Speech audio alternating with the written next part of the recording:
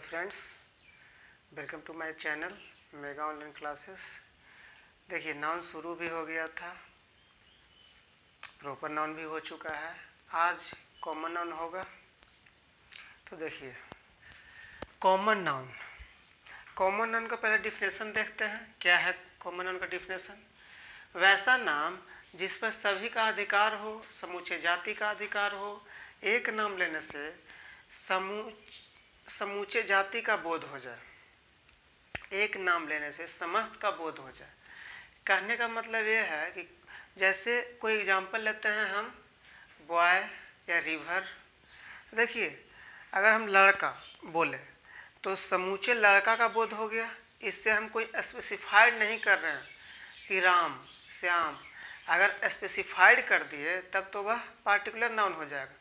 लेकिन अगर समूचे जाति का बोध होगा तब वह कॉमन नाउन होगा। जैसे रिवर का एग्जांपल दिए तो रिवर में भी वही बात है।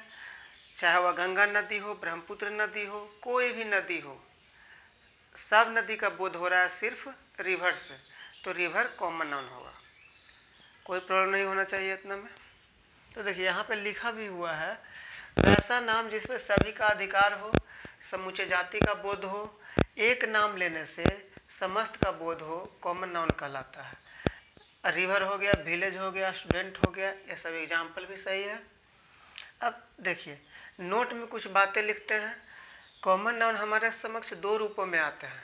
पहला सिंगुलर एंड दूसरा प्लूरल सिंगुलर अगर रहेगा सिंगुलर कॉमन नाउन रहेगा तो सिंगुलर भाव लेगा। प्लूरल कॉमन नाउन रहेगा तो प्लूरल भाव लेगा। सिंगुलर कॉमन नाउन अपने पहले द आर्टिकल लेते हैं।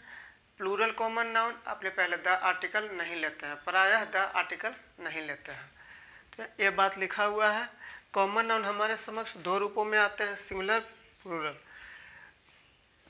जब ये एक वचन हो तो इसके पहले आर्टिकल लगेगा। जब यह एक वचन हो तो इसके पहले आर्टिकल लगेगा, और सिंगुलर भाव होगा तो सिंगुलर सिंगुलर होगा तो सिंगुलर भाव लेगा।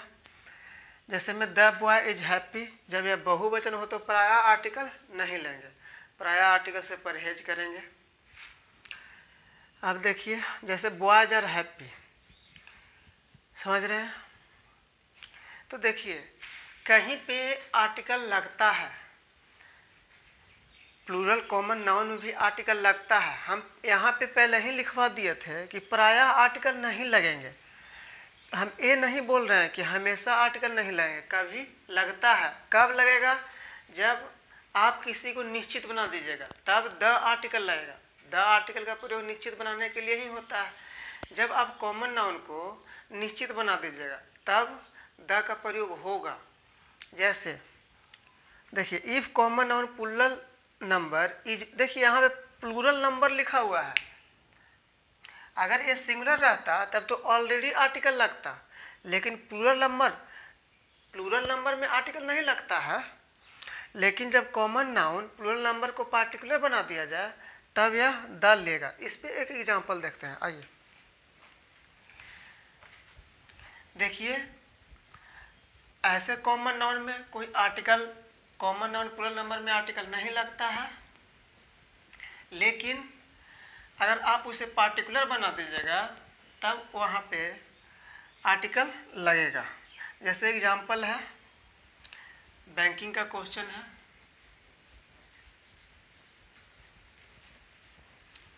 आइए देखते हैं।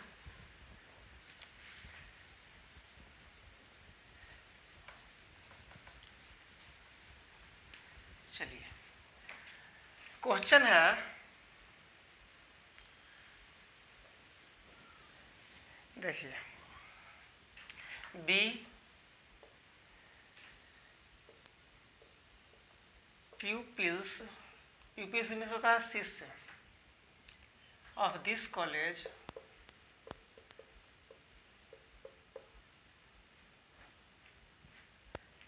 having prepared well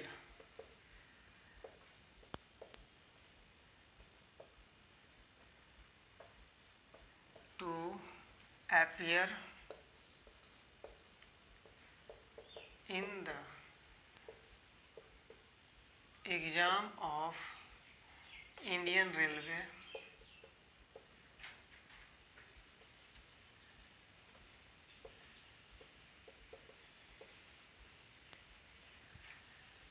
Indian Railway are going to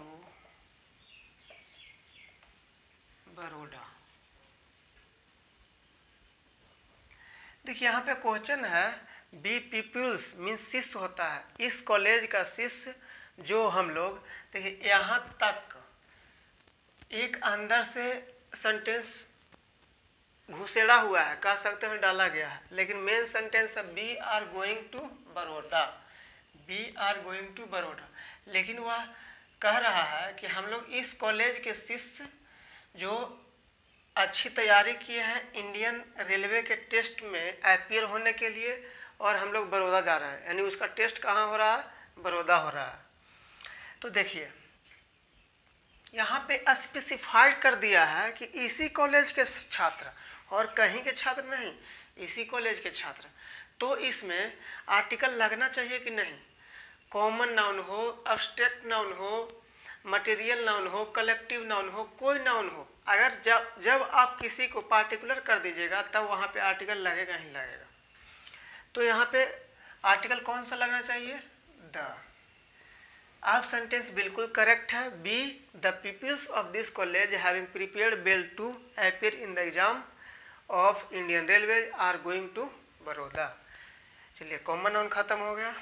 अगले वीडियो में। मटेरियल नाउन आएगा फिर अब्स्ट्रैक्ट नाउन आएगा फिर कलेक्टिव नाउन आएगा। Thank you